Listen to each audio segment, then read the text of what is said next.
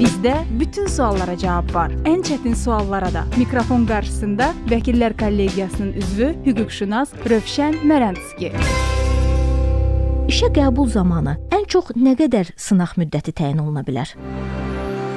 Qüvvədə olan qanunvericiliyə görə əmək müqaviləsi işçinin peşəkarlıq səviyyəsini, müvafiq əmək funksiyasını icra etmək bacarığını yoxlamaq məqsədi ilə sınaq müddəti müəyyən edilməklə bağlanıla bilər. Sınaq müddəti 3 aydan artıq olmamaq şərti ilə müəyyən edilir. Sınaq müddəti göstərilməyən əmək müqaviləsi sınaq müəyyən edilmədən bağlanmış hesab olunur. Burada müəyyən istisnalara nəzərə almalıyıq. Məsələn, sınaq müddəti müəyyən edilməyən hallar da mövcuddur. Əgər əmək müqaviləsi bağlanarkən sınaq müddəti yaşı 18-dən az olan şəxsə, müsabiqə yolu ilə müvafiq vəzifəni tutanlara, hamilə və ya 3 yaşına çatmamış uşağı olan qadınlara, habelə 3 yaşına da uşağını tək başına böyüdən kişilərə, Təhsil müəssisəsini bitirdiyi ildə ixtisası üzrə ilk dəfə işə götürülən şəxsə, ödənişli seçkili vəzifəyə seçilmiş şəxslər, 2 ay müddətinə əmək müqaviləsi bağlayan şəxsə və tərəfin razılığı ilə müəyyən edilən digər hallarda sınaq müddəti müəyyən edilmir.